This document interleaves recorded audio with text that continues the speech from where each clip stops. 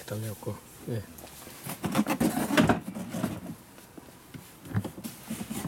예, 손이 빠지네 음.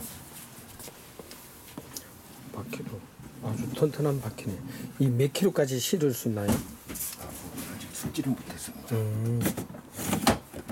그리고 하나하나 기능 소개해 주시고요 이놈은 이 안에 부품을 넣을 수 있고 이건 수- 육안으로 볼 수 있습니다. 이 안에 부품을 넣을 수 있는데 육안으로 안 보이고 원터치 방식으로 제끼게 되면은 열립니다.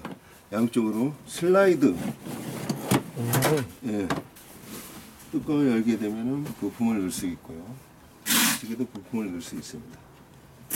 이런 식으로 조합이 되어 있습니다. 아래는 작업 공구라든가 큰 전동 공구를 넣을 수 있고요.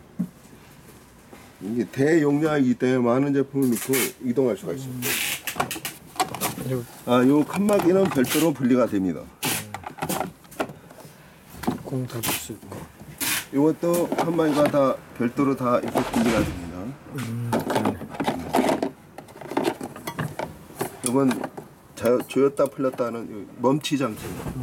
뚜껑을 닫고 그대로 이런 형태로 그리고 아, 또 손잡이 한번 들어보시죠. 손잡이는 이런 식으로 끌고 다 보시면 됩니다. 이동에도 상당히 용이하겠네요. 네, 이동에도 용이하고 무거운 짐을 좀 가까운 거리나 장거리로 움직일 때는 편하다는 이점이 있습니다. 그리고 이 회사 제품은 케터라는 건 이스라엘 회사 제품이고 세계적인 메이커입니다.